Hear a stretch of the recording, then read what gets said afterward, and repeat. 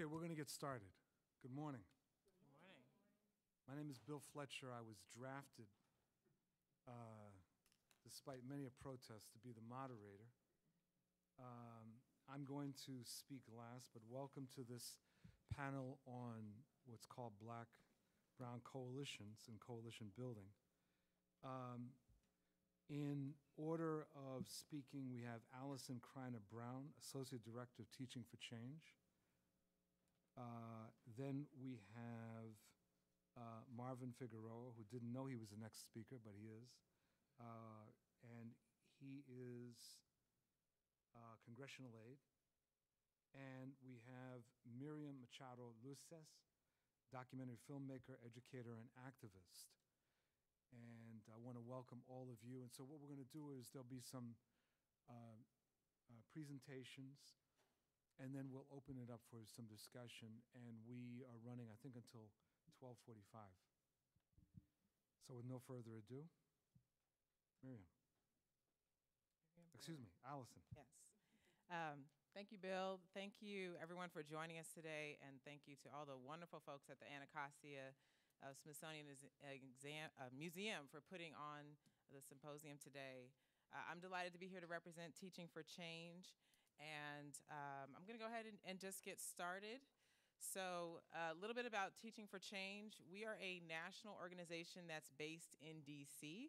Uh, we say we have a strong focus on the DC area as well. Many people know us because we operate the bookstore at Busboys and Poets at 14th and V.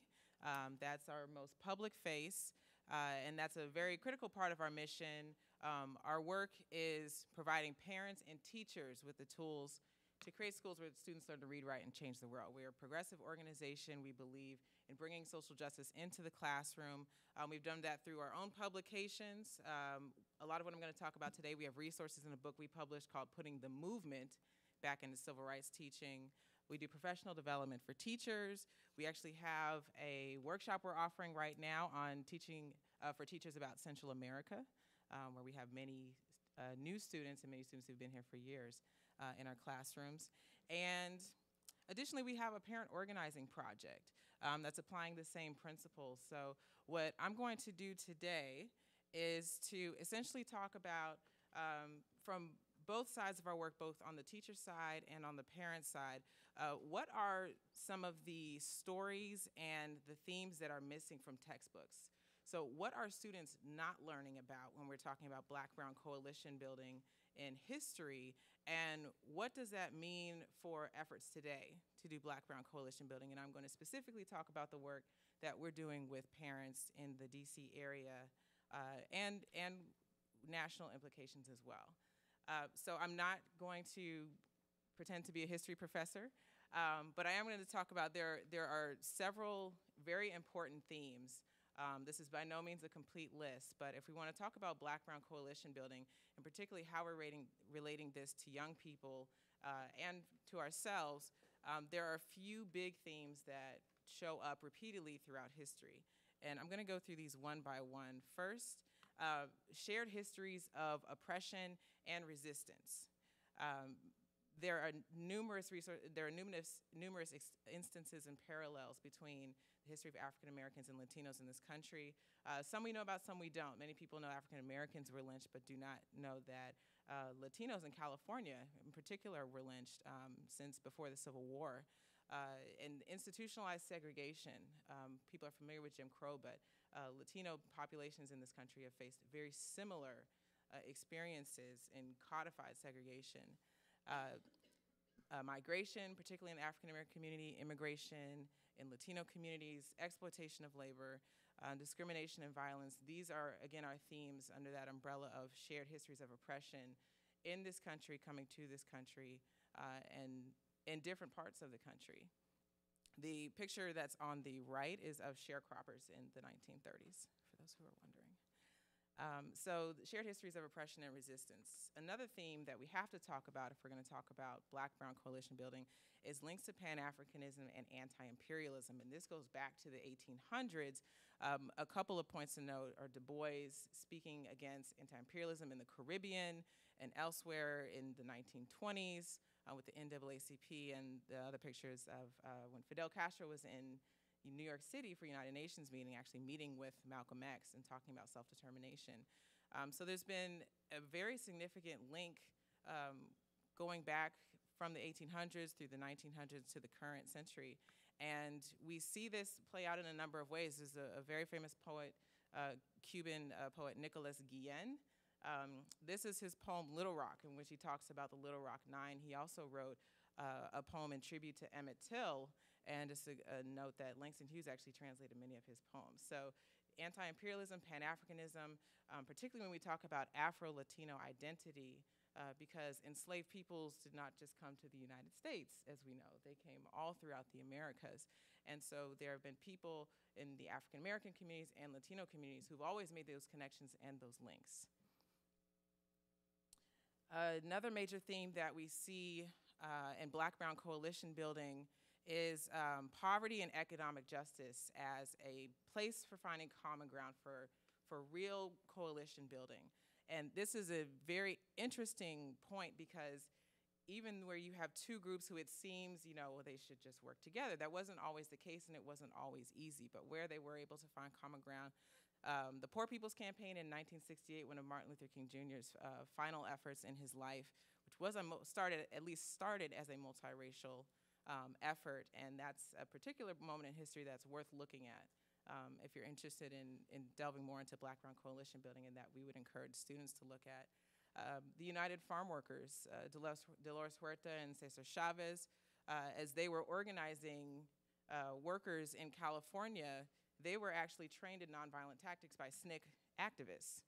Um, and so there's, there's another place where you're finding common ground in working toward economic justice and workers' rights. I know Bill can speak a lot to, to those efforts. And uh, even taking it modern day, uh, 2008 in North Carolina, the Smithfield factory, um, workers had organized for years to unionize, and this was a combination of African American and Latino workers, and um, finally did get that uh, get that victory over the the corporation that they were working against. So you have to take into account both the context of each of these movements. They were in the context of, of larger things going on in history and within the movements themselves, there were challenges, but the, uh, these are some areas where we have seen black and brown coalition building, particularly at the national level. Where we have seen more success and sustained efforts are when you start to look local. Um, and that's also an example with the, the uh, Smithfield uh, slaughterhouse in North Carolina. So one of the big things, themes that we, we look at with Black Brown Coalition building is there were successes, but it, has been very difficult, quite honestly, to sustain longer uh, movements when you talk about coalition building. And that's for a whole number of reasons that we do not have full time to get into today. But um, there, we see a lot of moments of unity. So that is one thing that we definitely see throughout history. The Mendez case in California uh, was actually a case that the NAACP was watching in their effort to challenge uh, Plessy versus Ferguson, separate but equal. And this was a case about Mexican schools in California that were segregated, and so Thurgood Marshall sent an amicus curiae brief, and the court issue, it ended up not making it to the Supreme Court. It was settled, but it was a case that uh, advocates were looking forward to, to lead up toward Brown and the ultimate ruling in 1954. Uh, other moments of unity, the Brown Berets calling to free Huey Newton, um, linking together. Uh, and uh, and a particular example that is uh, that we think is of interest to students is uh, started from the Black Student Union group at San Francisco State, who linked together with Asian American groups, with Latino groups, and with and they actually formed a much larger group and movement that linked other Bay Area universities called the Third World Liberation Front, and they pushed for a number of things. And one of the victories that came out of this was they uh, result, it resulted in the first ethnic studies program in the nation, which was founded at San Francisco State University. Uh, in modern day, moments of unity uh, in Arizona, the organizing around immigration issues right now, uh, SNCC veterans have been very active in supporting the uh, advocates down there. And Chuck D uh, re-released the song uh, by the time I get to Arizona to specifically talk about the treatment of Mexican Americans and Latinos in Arizona and other places in the the South and the Southwest. So again, these are, are some of the, just a few of the common themes that we see that emerge from history that students, students aren't learning about, um, but that still continue to echo today. And what's very significant about this is when students learn, do not learn about what has happened, it, it doesn't give us an opportunity to learn and to strategize going forward because even when there were successes, the organizing was not necessarily easy. So we look at these themes and we say, what does that mean for Black Brown coalition building, um, particularly as, as we've seen it in our work with parents? So uh, in our work with parents, we work in education, so I'm just going to stick with, with that area. But a particularly a particular strength that we see that continues today is community organizing. Um, as meaningful black brown coalition building. Again, this tends to be at the local levels, and a lot of times it, it's around, it still continues to be around issues um, related to poverty and economic justice. Black and brown students are more likely to be in the poorest schools that are under resourced, and so have been banding together and seeing each other as linked in this cause to bring greater educational opportunities to their children. The uh, film on the right, Parent Power, actually chronicles 15 years of organizing across community organizations in the Bronx, where they fought to get a new middle school, they fought to have community input in the, the teachers and the principal being hired, they fought to bring new programs to their schools, and this has been sustained efforts, and those groups are still working together today. In our work with parents, uh, our parent organizing approach is called Telling Stories. And we see relationships as the foundation for meaningful uh, organizing among parents. Um, one of the things that's very, very critical that we see as parents have to learn about each other. Uh, in the same way that students have to learn about each other and the shared histories that we have.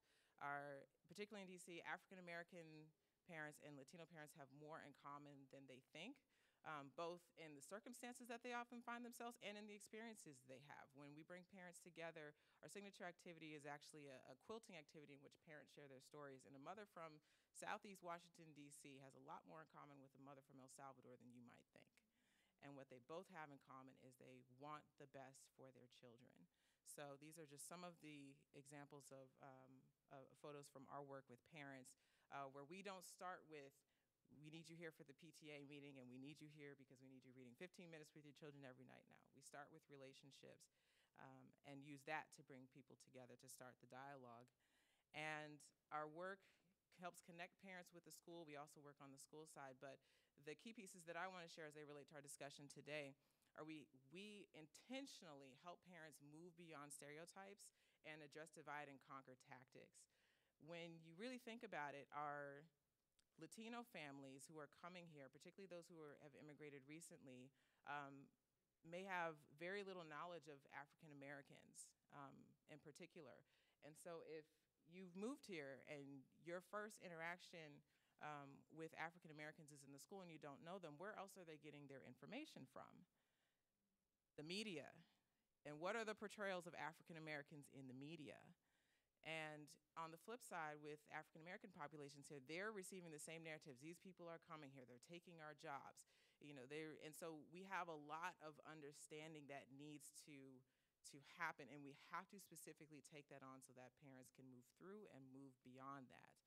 Um, and all of these these tactics um, that we see play out, that have played out nationally, play out even locally in our schools. The different dynamics. So our work, we're a nationally recognized approach to, to family engagement. And one of the reasons for that is we specifically take on race, class, and ethnicity and nationality issues um, directly in bringing parents to the table to work together for the better of their betterment of their children and their schools. Um, happy to talk more about that. This is my quick shameless plug, Teaching for Change. We are, uh, we have a number of resources for teachers, um, parents, the general public. We've got several websites where you can go and download free lessons. Um, and we want these histories to be brought into the classroom because just imagine if we have students who start to learn about how African Americans and Latinos have worked together and have worked with other groups and what it is what it has actually taken to make change in this country and meaningful change um, the changes that we've seen and, and where we've come today have, have not been out of generosity. I'll just say that. And with that, I'm going to turn it back over to Bill. Thank you. Thank you very much. Uh, Marvin. Thank you. Um, happy to be here. I appreciate the, the invitation. Um, I'm going to start off with a very credible source, uh, YouTube. Um, so I'm going to show you two videos. Let's give us a minute to load up a little bit. There is audio, right?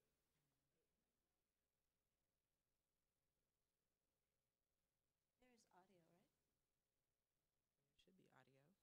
have to listen to an ad. We get a free ad as well. That's fine.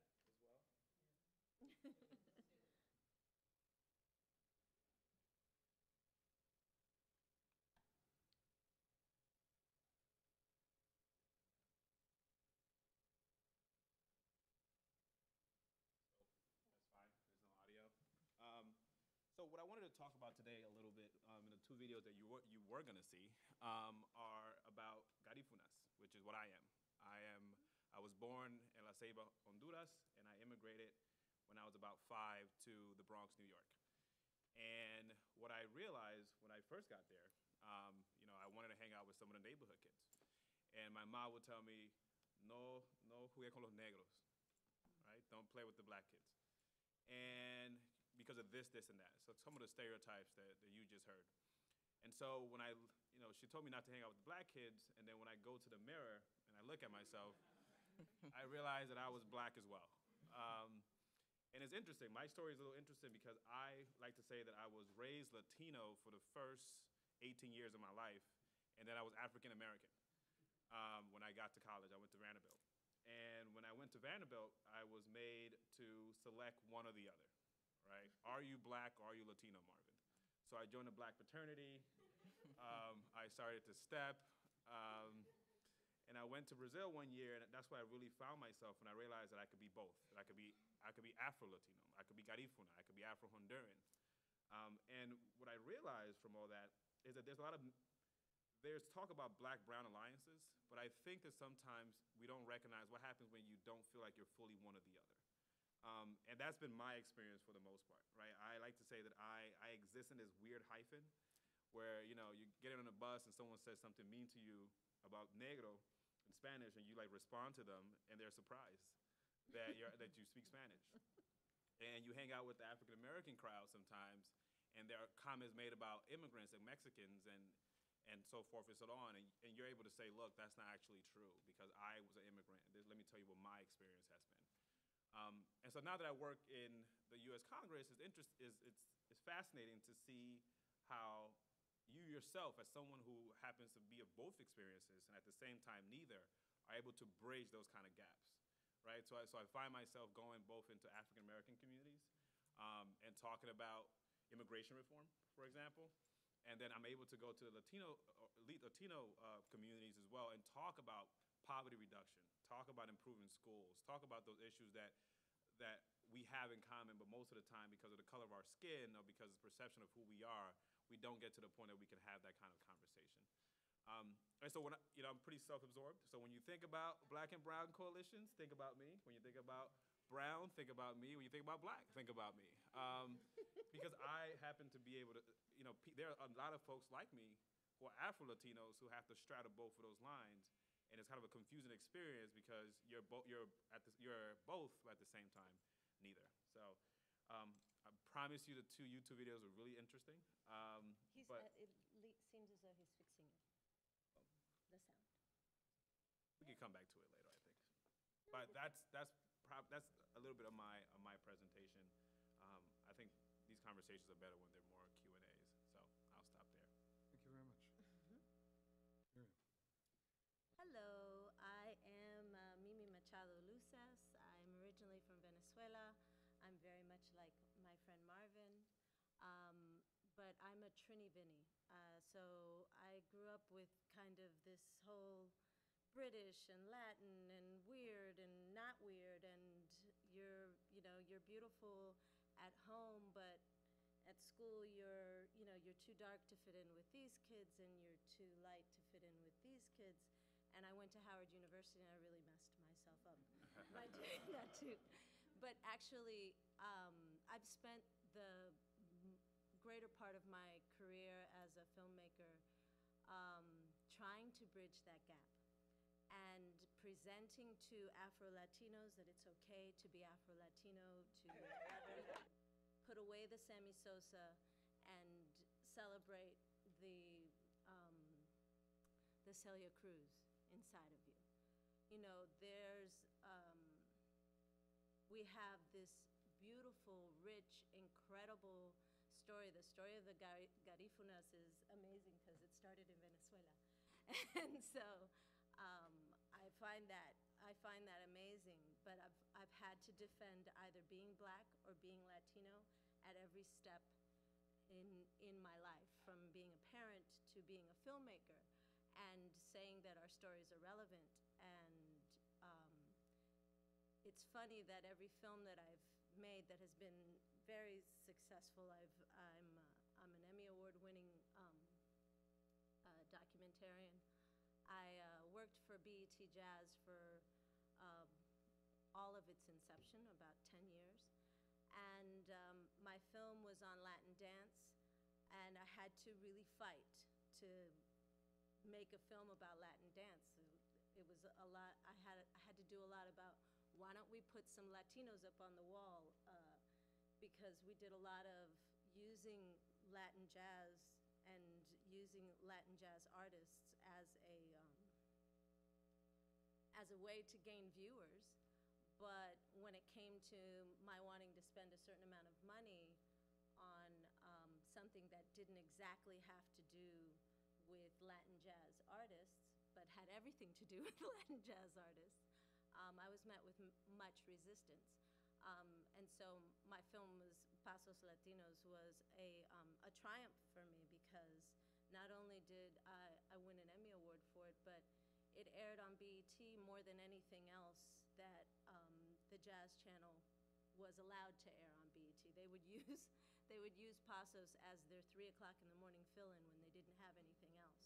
And I would constantly get calls, and I actually still get calls from people wanting to know if it's still in rotation on BET because we aired it for Hispanic Heritage Month a lot.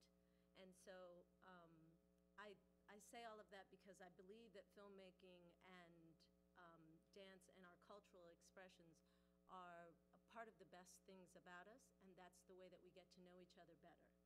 Um, in Black and Brown Coalition building, I have made more friends because of my food and my dancing than I have by just having a conversation or trying to teach someone something. So I, I think in the food, it's in the way, it's in the who we are um, as a as a people together, and we find that the only thing that we're separated by is the boat ride or language, and um, that's it. Thank you.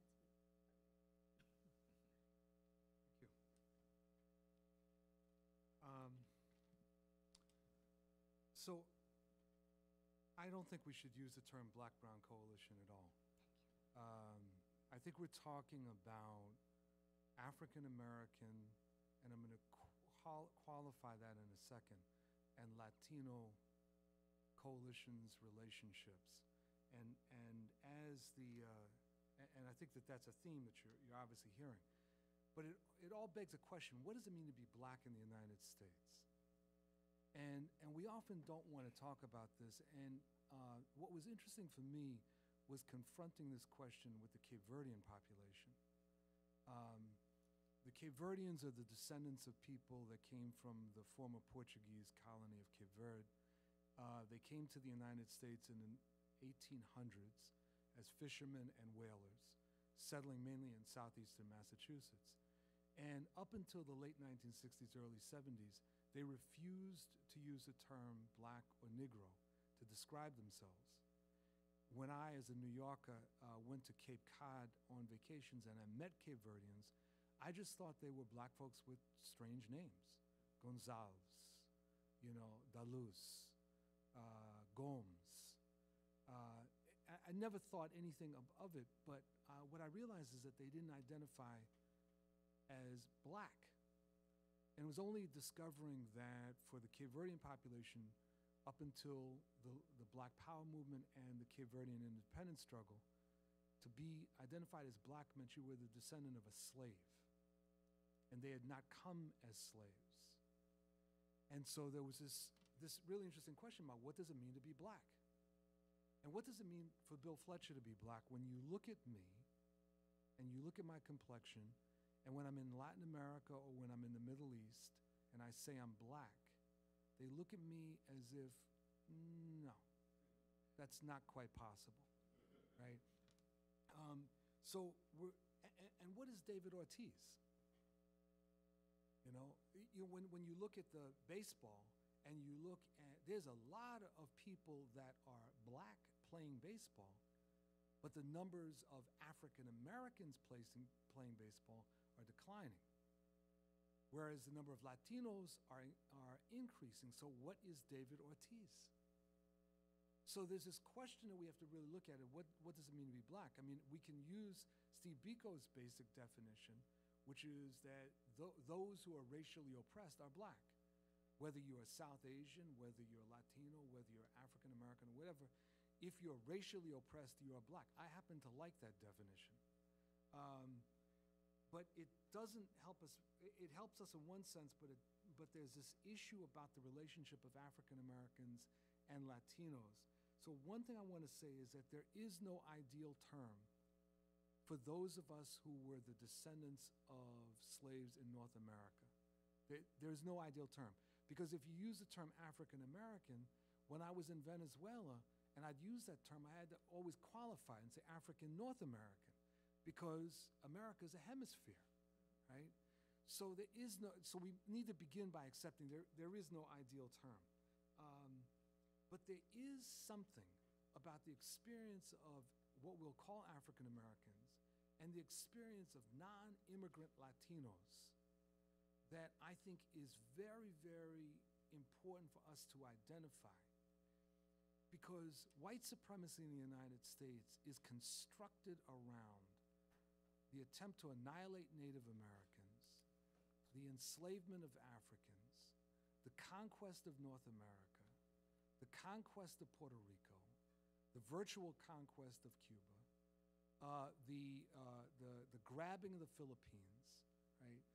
And the population, those populations have a very specific relationship to US based white supremacy, which is very different than the relationship that immigrants have. It's again something that we don't talk very much about. Uh, and that's also why we have to kind of sort of in, interrogate this term Latino, because the experience of Salvadoran immigrants is vastly different from Puerto Ricanos. Vastly different, right? The experience of Colombian immigrants is not at all the experience of Chicanos?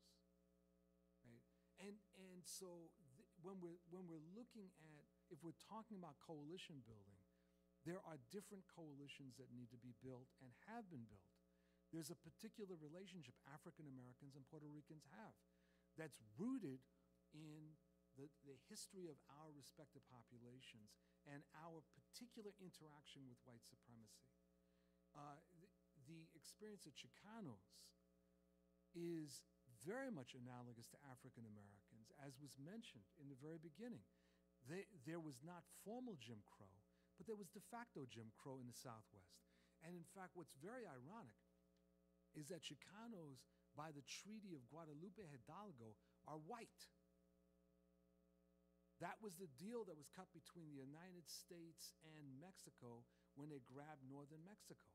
They, they were to be declared white, but they never, from 1848 on, were treated as white. They were treated as essentially African, uh, the way African Americans were, with the exception of between 1848 and 19, 1865, they weren't uh, suffering slavery. So I think we have to look at this in much more complicated, much more complicated way than we tend to. Uh, we have to, again, get away from the term black and brown and look at the relationship between particular communities with very definite, uh, distinctive histories. Now, one final thing which relates to uh, something that Marvin said. Every immigrant to the United States is taught exactly what you were taught. You stay away from black folks and Native Americans. That is a message that is conveyed to every immigrant that comes here that you stay away, you distinguish yourself, you do whatever it takes to distinguish yourself. And one thing that African Americans don't appreciate sufficiently is the construction of race in Latin America. And, and I would say that the building of a better relationship between African Americans and Latinos in the United States necessitates a real dialogue. And that dialogue fr- from the African American side needs to get at understanding Las Castas and the way that that played out in Latin America. You see, as I mentioned before, when I'm in Latin America, people don't understand when I say that I'm black. In New York, it's, it's like if I said I was anything other than that, it, it would be like, is this guy lost his mind, right? But when you're looking at Latin America, you're looking at the, a very different way that white supremacy played itself out than it did in North America. The, the, the, the, the delineations based on skin color, et cetera, and, and what that meant, which means that when Latino immigrants come to the United States, the way that they look at the question of black and race is very different than those of us that grew up living with white supremacy in, in Uncle Sam's homeland. So I'm going to stop there, and, uh, and I'd like to open it up to questions and comments. And the way we will do it uh, is that we'll take several, and then the panelists will have a chance to uh, respond or offer additional comments that they may wish to offer. So the floor is open.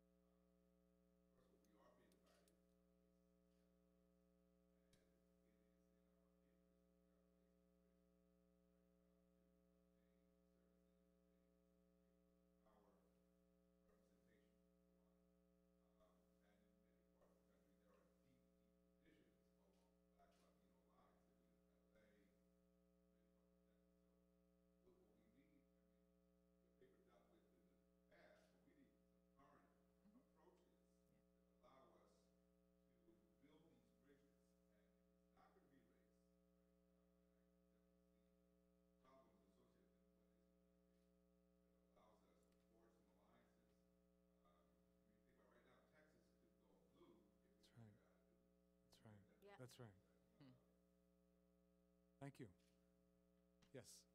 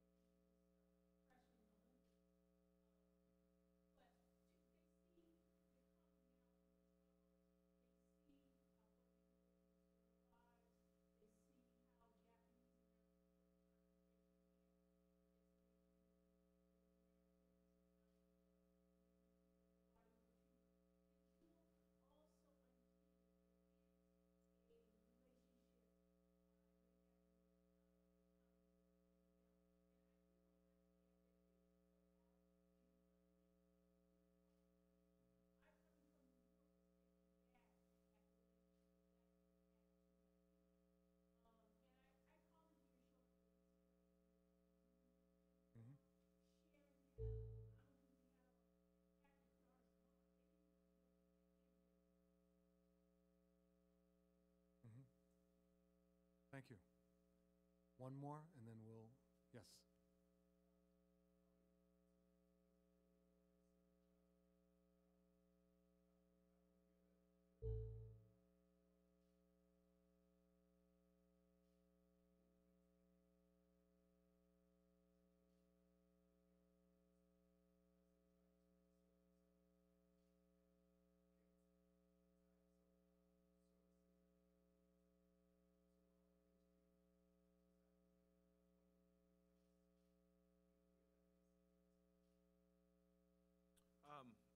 Honduras about a year ago. Uh, it's a tough situation. Um, if you look at where Garifunas are are located, which is mostly the coast of Honduras, that is great land um, for tourism.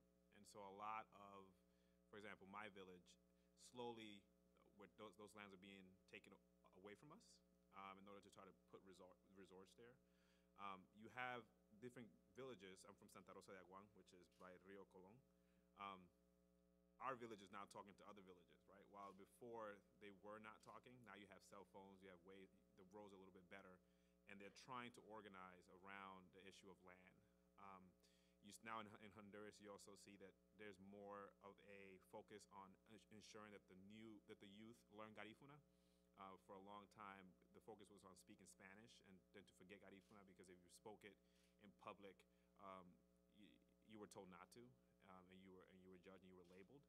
Um, I don't speak Garifuna, which to me is kind of sad, right? That I, I can understand it, but my mom made it a point not to teach me, and so now I'm trying to go back and trying to get my Garifuna-ness. Um, and, and, and, and to be honest, a lot of the reasons why, and this is kind of interesting, a lot of the reason why I want to learn Garifuna is if I don't learn it, then I'm just African American, right? I don't know. I, I, like something about being Garifuna is, is, is unique that I want to maintain it.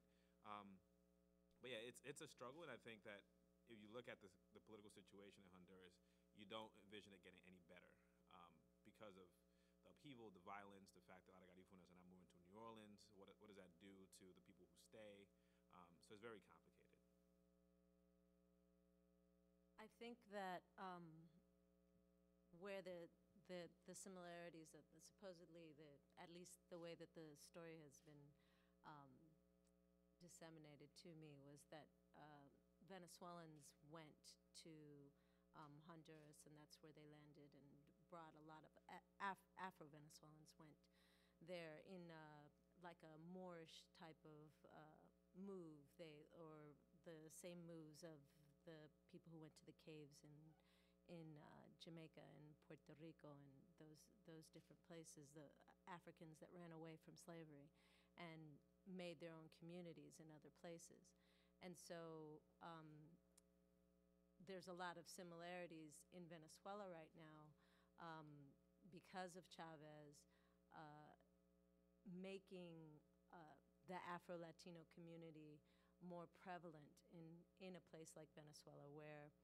um, before Chavez came into, um, came into power uh, and before he went completely nuts, um, he had a, uh, a coalition where he started writing Afro Latinos and Afrodescendientes is what they call us in Venezuela.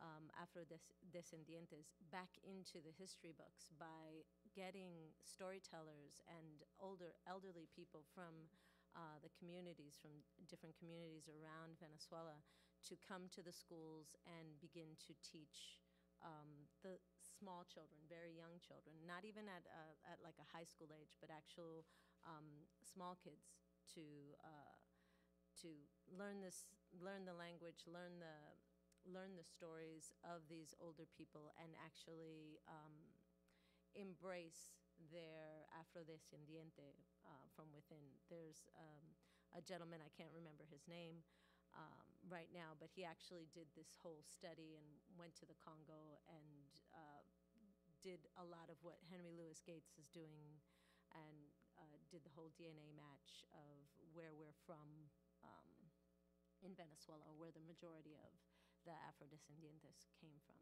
There's also this community of um, people that um, came before Columbus. I mean, we've been here all along. People don't want to, you know, a lot of people don't want to don't want to acknowledge that, primarily in Mexican community, or um, i- in in all these different places throughout Latin America. You can definitely see where um, there's an, an African basis as well as uh, people that came over during the slave trade and then these immigrants that came um, afterwards. And then I always like to call it, it's my own personal joke. I believe that, you know, the conquistadors, since they were Moors to begin with, there were Moors in the conquistadors. The conquistadors went to uh, Latin America, and it was basically black on black crime. I don't, I don't think that we were not, that white people came and colonized Latin America. There were actually people of color, uh, and the conquistadors started it. So, Allyson, did you want to respond to any of the questions? I did. I wanted to respond to the first two, talking about uh, current approaches toward um, building bridges, and a, a couple of things that you all actually just talked about um, kind of give us a, a one good starting point. And one is what we learn helps to really does shape our identity and how we see the identity in our interaction with others. And uh, not this isn't a shameless plug, but, teaching for change. That's that's in part what we believe is that students have to learn both who we are, how we got here, how the people around us got here, um, how we worked together, and what were those challenges. And the commenter um, in the back, you know, said, you know, there's no hierarchy of oppression. Well, that was actually an issue that uh, particularly Chicano leaders uh, and Mexican American workers, uh, organizers ran into when they linked with, tried to link with the civil rights movement. Um, and not just in the 1960s, there have been repeated times, and that's happened in different parts of the country where, uh, because they, the issues of what justice needs to look like are often different. So, so Bill talked about how, you know, it, it's not the same, we talked about it's not the same in every place. So, for instance, um, with the Mexican Americans with the Treaty of Guadalupe, uh, they immediately lost land rights. And so there's been an entire movement around restoring the land rights in the parts of California and New Mexico that uh, these descendants have essentially lost that they believe are rightfully theirs. And so what's happened is when they've linked with other efforts with African Americans, then there, a number of people have written about this. They said we found there's a higher, there are oppression Olympics, and and quite frankly, it's how do we, as a generation now, uh, and the generation coming toward us, how do we learn about how they, the instances where they were able to overcome that? Um, and I think more importantly, how do we learn that that can't be the roadblock? And if we, uh, and when you, particularly when you talk about oppression and learning about who we are, and Bill's already talked about the effects and the implementation of white supremacy uh, in this country and around the globe and how it plays out differently. Uh, Paulo Freire, who's a Brazilian educator and uh, the who, who brought us popular education model um, or pedagogy of the oppressed, the entire premise of that book is when you have people who are oppressed, you have to teach them differently. You can't just put them in the classroom with the teacher and give them reading and writing and, and arithmetic. We have to look at the conditions that brought us where we are because if we don't, then what's going to happen is when the people who are oppressed come into power, they will essentially take on the role of oppressors themselves.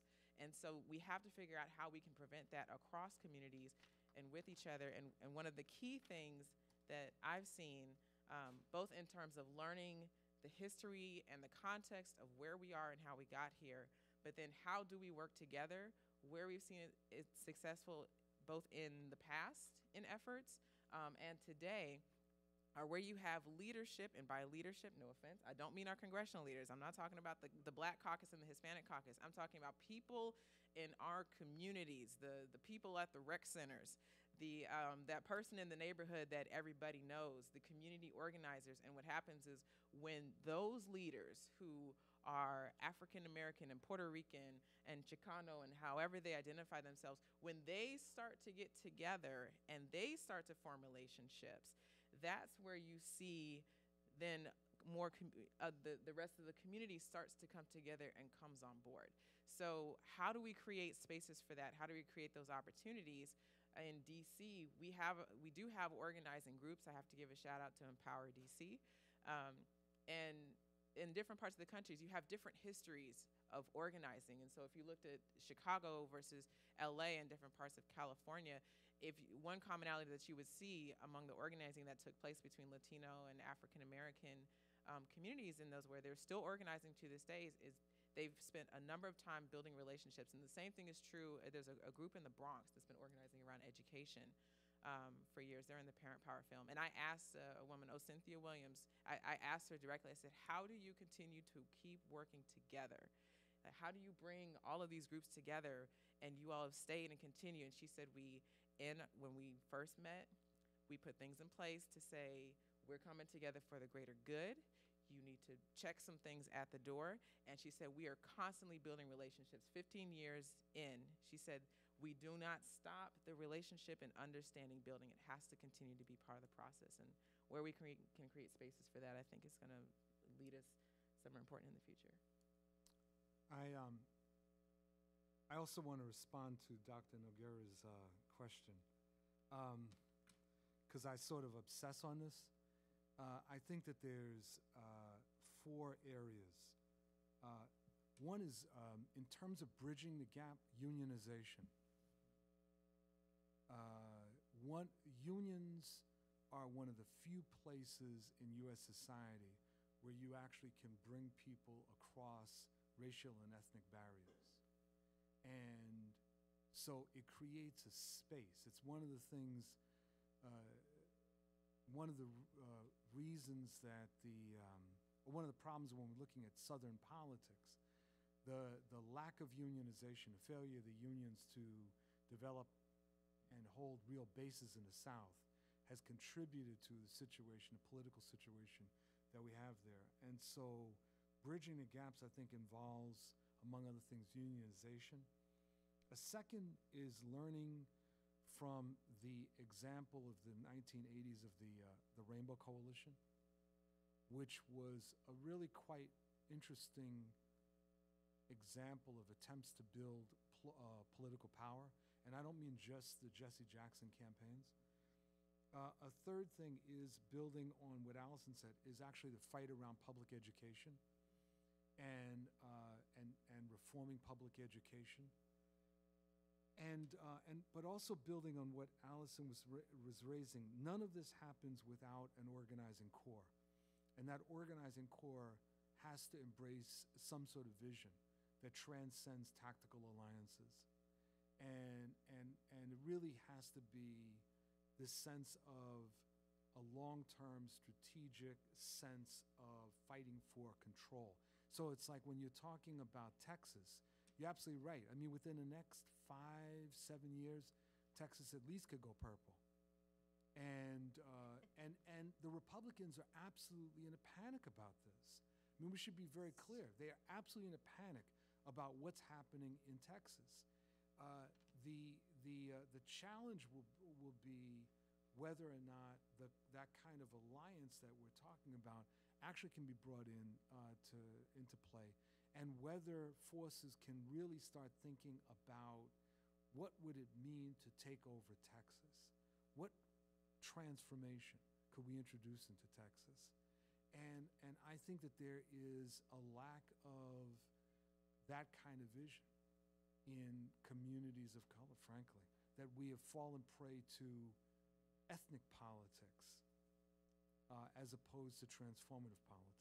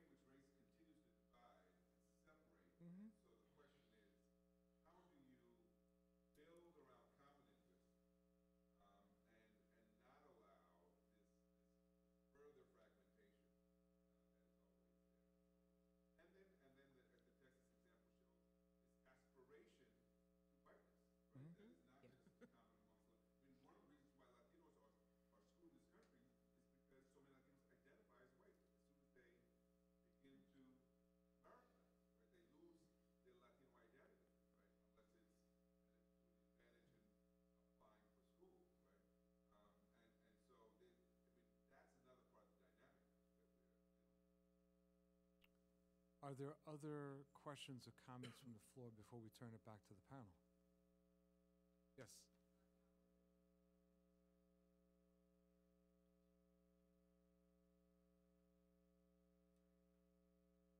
Okay.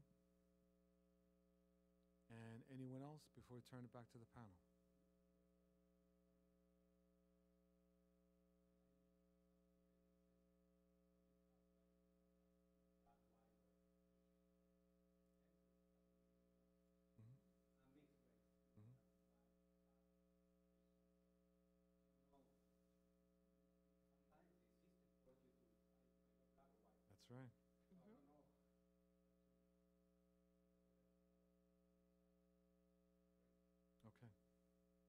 So we have about 15 minutes, so I'm going to turn it back to the panel to respond to the points that were raised or to add additional. Whoever wants to start. In response to the, to the, to the census qu- question, I, I worked as a consultant to the um, Census Bureau because I sent in such a long dissertation about having to really um, identify uh, why did I, I mean, it went as deep as to uh, why do I identify more with the African American community, but I wasn't born in the United States? It's because I'm black. But you can't be black because you're Latino. And it says Latino, non black. It says, it, it doesn't, there's no, there's no check mark for Afro Latino. There's no check mark for this. And like Bill, I'm, I'm like, just get rid of all the checks. Why do we have to identify in any way, shape, or form other than um, this is who I am, this is where I live, and uh, I have this many children? Does it matter what color I am? And if it matters so much what color I am and what services are going to go into my community, are those services really there to service us or to keep us under this particular check? And when I do, when I do, um, when I when I create a program, the documentary that I'm working on now um, is about Afro Latinos, and the lack or or the consequent aspiration to not be Afro Latino is really amazing across the board. I've had actually, I spent the summer, I spent a, a month this summer in um, Mexico in, the, in a town called Puebla, which is like the third largest town in, in Mexico, where most of the immigrants um, that come to, I think, New York City are from Puebla, uh, or Mexican immigrants that, that actually, you know, emigrate to the United States as opposed to um, having to cross the border and doing those types of things. Um, I was asked a lot why I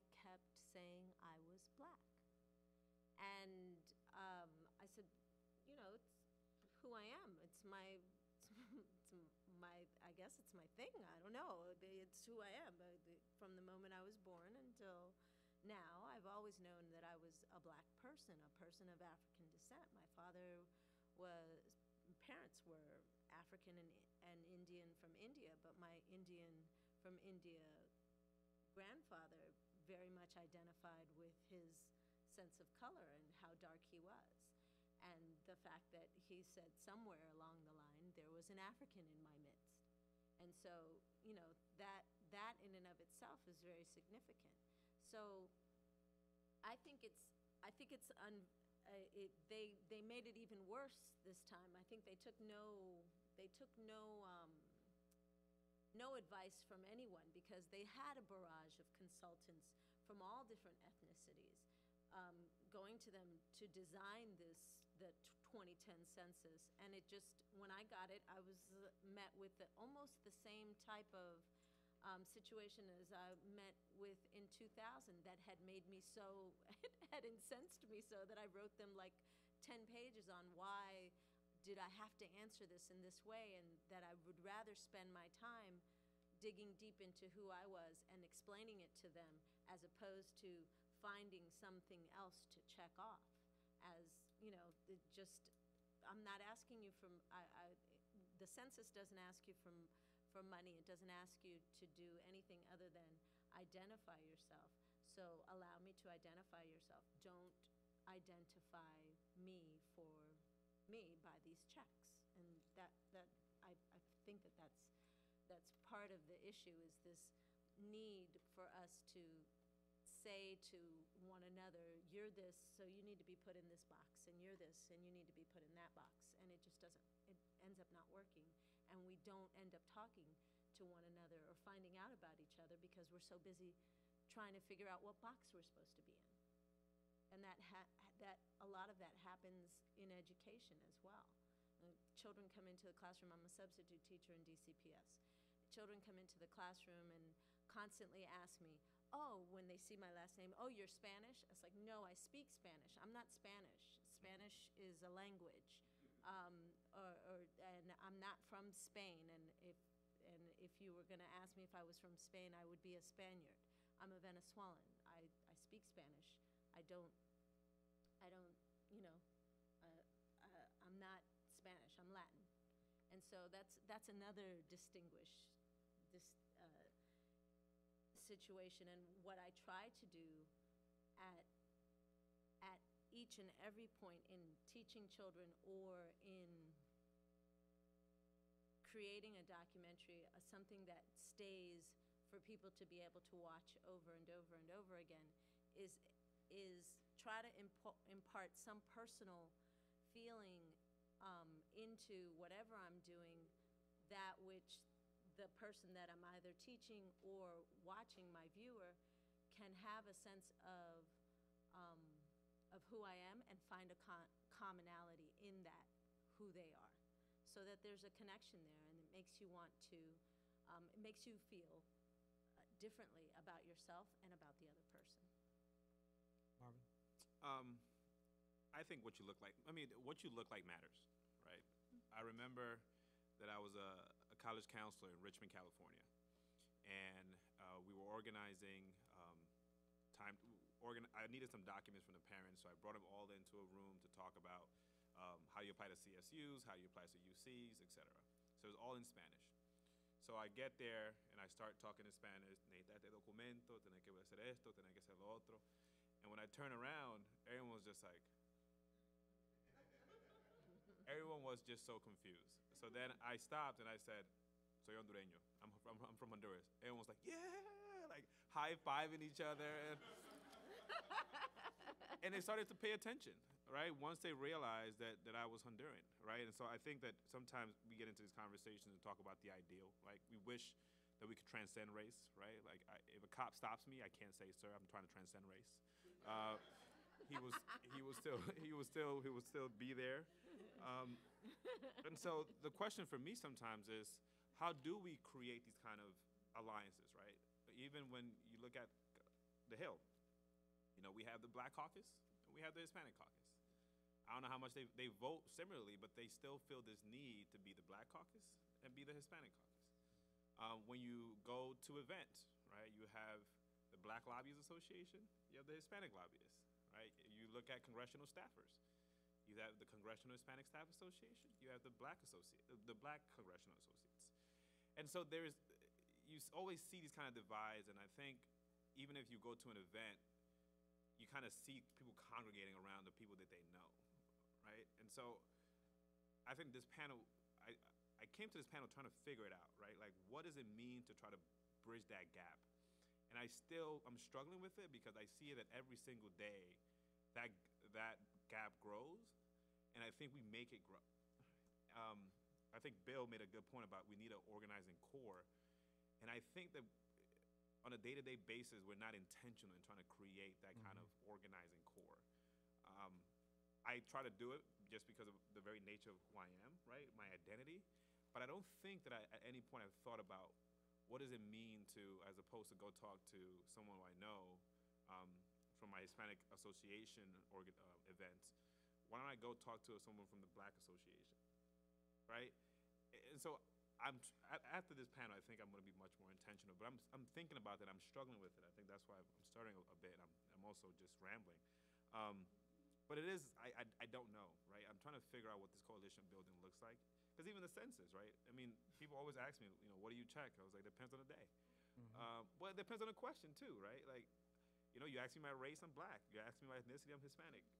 If it's only race, I struggle to say that I'm only Hispanic because, you know, I'm black, right? I'm a black man, right? And so it you always try to, you know, you check one box and then you put an asterisk, right? And try to explain what's going on, but you don't have you don't have enough space, right? And so you know, I I'm still trying to figure out my identity. The census makes it difficult, but the fact that the way that I live my life also makes it kind of difficult.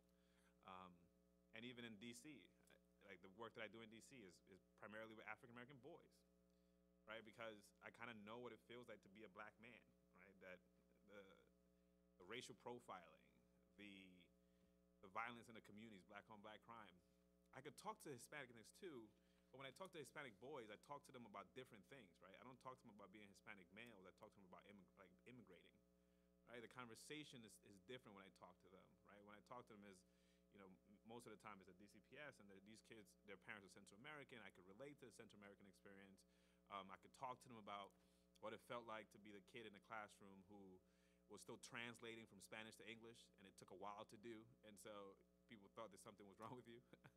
um, I could talk to them about a mom that kind of spoke Spanish in, in the house and not knowing all the African American music, not knowing uh, the Temptations until I was in, in college, right? I, I can talk to those things, but I could talk about being a black man to black males. I could talk about being an immigrant to Hispanic boys, um, and so it's it's kind of different in that sense. Um, so I, what's my time? Okay, all right, I'm gonna be quick. Uh, I'm not gonna have time to address, but I wanted to act, to acknowledge something that, uh, Dr. Nagetta said. Um, you know, how, how do we overcome the aspiration to whiteness? And in the United States and in the America, really around the world, but, um, I think you have to acknowledge that, uh, you know, the role that we've talked about that white supremacy plays because it's embedded in everything from the media to education to the economy, cultural to the legal system. And so when you talk about how people identify and how we see each other, it, it is in this context. So I wanted to just acknowledge that that has to be a key piece. And I think when we have people work together, they, that has to be understood, um, you know, for us to, to move forward and has to be factored in. Um, I wanted to specifically address and bring it back to DC. Um, so how this conversation in, in part relates to DC uh, these days, uh, there are a, a couple of things I'm going to try to briefly go through. So there are two things that I think are very, very important to DC that you have to factor in. One is the fact that DC is a is a local city and it's a national city at the same time. It's the seat of power, and so that and and that does not always support um, what needs to happen in this city to to build coalitions uh, and as we see to lift people out of poverty. You know, we've I'm, I'm not going to go into details about that, but just that that uh, dual and often conflicting identity that is embedded in this city, um, particularly because this city still is a colony, and the history of, of DC as a colony has to be factored in. So that's one thing. Um, the second thing is when you look at uh, DC compared to Chicago, Detroit, New York, and other areas of the country, DC was not an industrial center. So Bill, Bill talked about the role of unions and unionization, and that is uh, a lot of times, both currently and in history, where we have seen people come together and work. Is a lot of times it's workers organizing, um, and where there's a history of that, that's often built upon. And so DC does have an organizing history, but it's not the same as as you see in, in other areas. So it's done differently, and and I think it's I think you can say there are pieces of it that are still being figured out, but where people are organizing in DC around right now and trying to build these coalitions of, um, I'm going to go with Bill's definition of black with for all who are oppressed, which in the city tends to mean that your skin is is tan, um, brown, or black, and that you are are, are lower, even middle income. Um, around the schools, there's a, a lot of organizing around the school, school closures, uh, even the the curriculum. That's a place. Uh, you know, some people said that sometimes the curriculum itself is a form of violence when students don't see themselves in the curriculum and they're not taught about themselves. And that's one reason why uh, some people see students uh, resisting, see not coming to school, not engaging as resistance because it is not affirming to them. And, and um, so the curriculum, that's in part where, where we come in with resources, but uh, the services they're getting, it's, it's unequal, point blank um, across the city and where we need to direct more services and resources, and the parent and community voice. Uh, the system itself, and I'm not just talking about DCPS, there are other parts of the city where they, you know, systems intervene in, in areas and opportunities that we have for people to come together. Um, other issues people organizing, uh, gentrification, affordable housing, huge issue. Um, uh, jobs, and in the big umbrella of jobs, wage theft is a huge issue for the um, Latino community. Uh, and uh, just and the salary wages and salaries are, are huge issues. So that's where people are organizing right now, dealing with some of the same issues, both in learning from the past and figuring out how do we contextualize this for DC to organize for the future.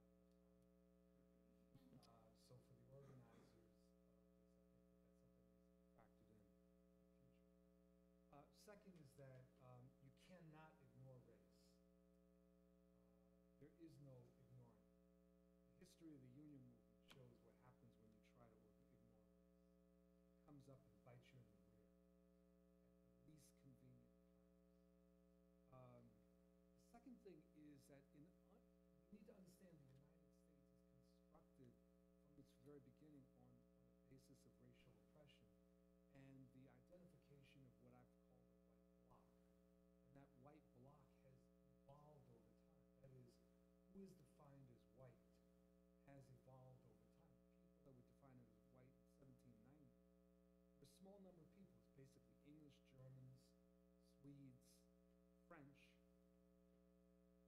sometimes Spanish.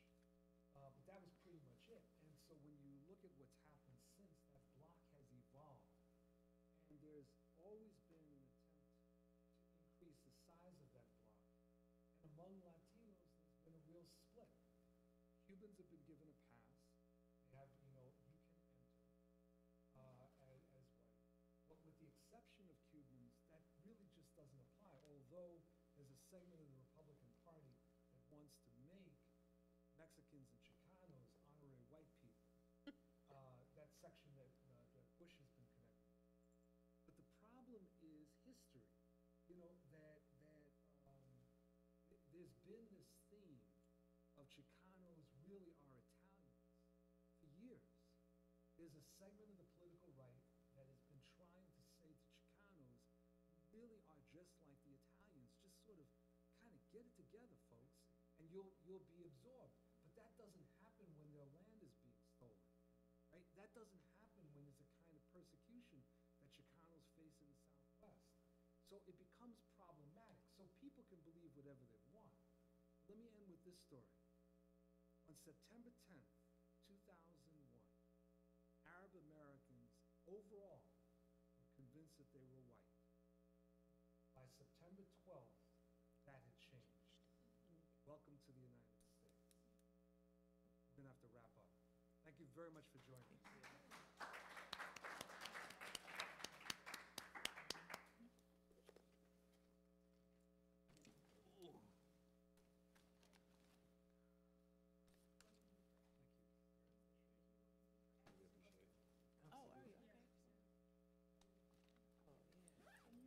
Debate Chavez some other time.